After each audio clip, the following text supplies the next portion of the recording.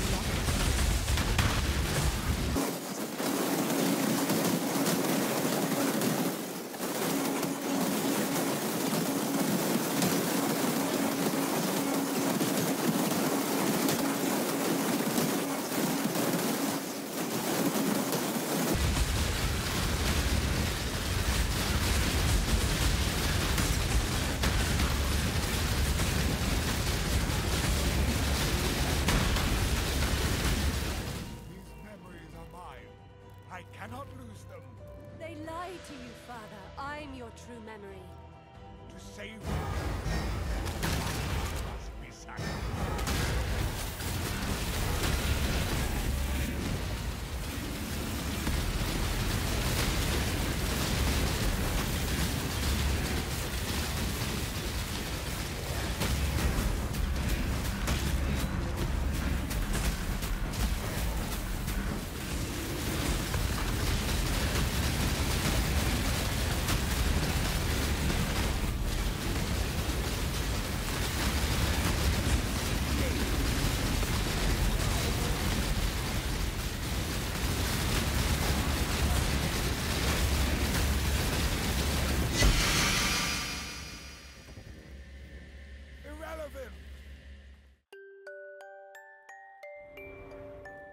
If you don't have any spiders, like when starting a map, put your cursor on top of your cultist, hold down Divine Ire, and use Writhing Jar.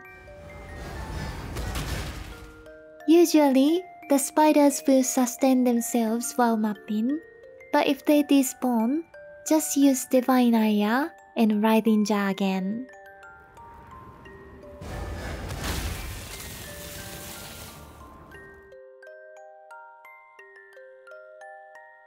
Here is the passive tree at level 100. There are four key features. Divine Shield Keystone, 2 extra passive points from killing all bandits in Act 2, Testudo Anointment, and 8 Masteries.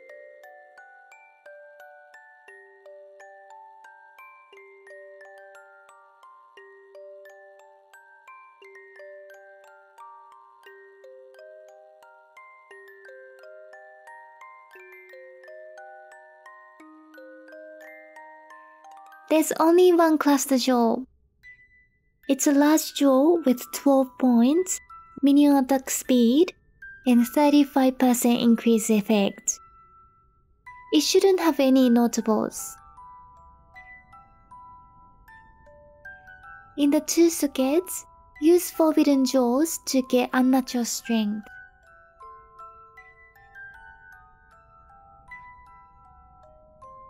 The four jewel sockets are for reckless defense with 4-4 block. Don't worry about the critical strike chance because the armor is the brass dome.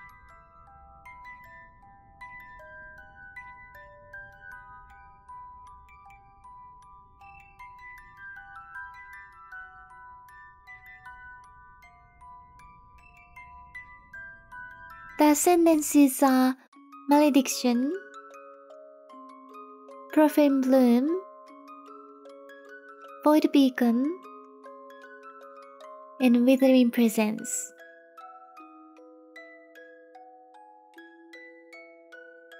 The Pantheons are Brine King for freeze immunity, and Ryslatha to refill the Writhing Jar Flask.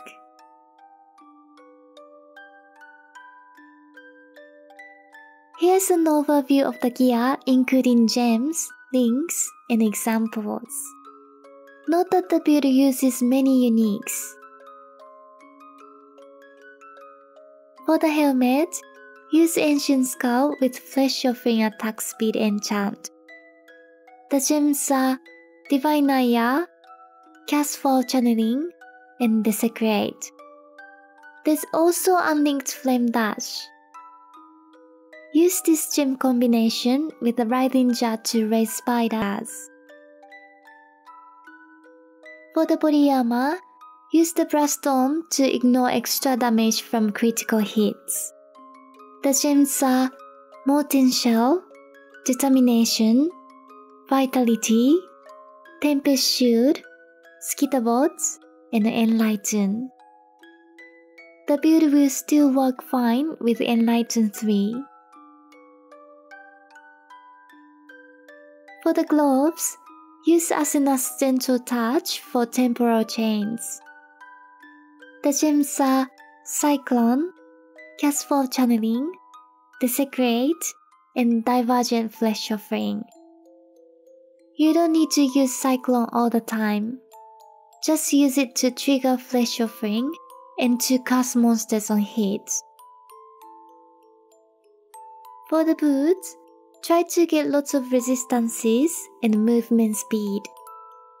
The gems are Malevolence, Increase Area of Effect, Awaken Generosity, and Empower. You can skip Empower if you want to save some currency. The weapon is Arakaali's Fang, and you can ignore the stats because they don't affect your minions. The gems are Multi Strike, Awaken Unbound Ailments, and Withering Touch. If you want to save currency, Divergent Multi Strike is about 10% less DPS compared to Awaken Multi Strike.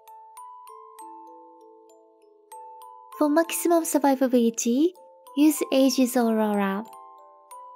If you need a cheap option, you can use the surrender or rare shield with life recovery. The gems are Vaal Skeletons, Feeding Frenzy, and a Culling Strike. Use the skeletons against pinnacle bosses for extra DPS. You can trade survivability for a big DPS boost with a Squire. Use Awaken melee physical damage Awaken Void Manipulation, and Divergent Minion Damage. Amulet should be also surprising with Malevolence. Anoint the amulet with Testudo for extra attack block. You will probably need the rings to get strength and dex. One of the rings must have Despair cast on hit. For the belt, use Darkness Enthroned with a Ghastly Eye Jewel and Amanamu's Gaze. your minions get 20% dot mode thanks to the 75% increase effect from Darkness Enthroned. One of your flasks must be the Writhing Jar for raising spiders. And for the others, I like to use Life with Bleed Immunity, Basalt with Extra Armor, Quicksilver, and Rumi's Concoction.